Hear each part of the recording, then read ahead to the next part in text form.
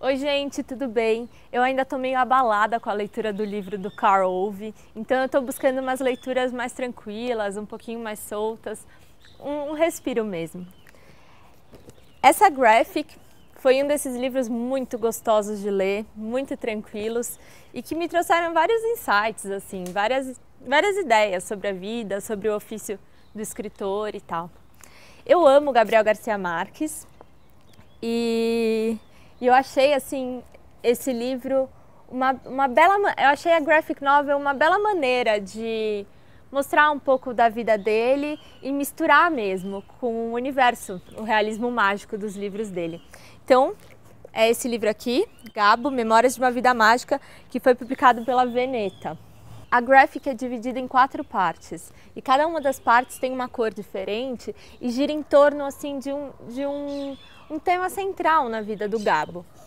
É, ao mesmo tempo, o livro tem um eixo condutor que é assim o tempo e o desenvolvimento é, e o autoconhecimento necessários é, para criar uma obra tão grande quanto 100 anos de solidão.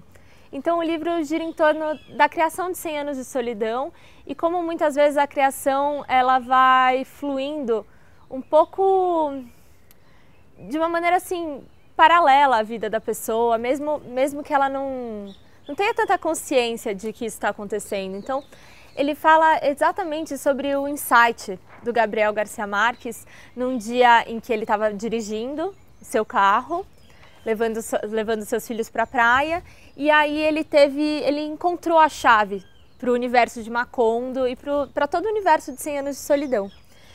Então o, o, livro gira em torno desse processo de criação e foi e é muito bonito ver como ele fala exatamente sobre o ofício do escritor e não sobre essa figura, é, sobre as conquistas do Gabriel Garcia Marques.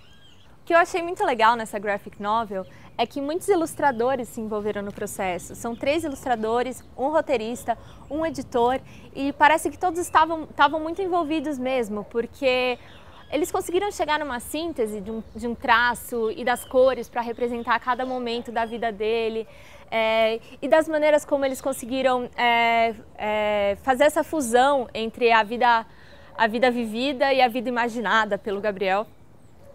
Então, assim, no meio dessa avalanche de artigos e textos que saíram por conta da morte do Gabo, é, eu achei esse livro uma proposta maravilhosa, assim, uma maneira muito nova e sincera de falar sobre a vida dele. Então é isso, quem gosta de Gabriel Garcia Marques, eu tenho certeza que vai gostar desse livro. E se inscrevam aqui no canal, não esqueçam de se inscreverem e a gente se vê no próximo vídeo, ok? Um beijo!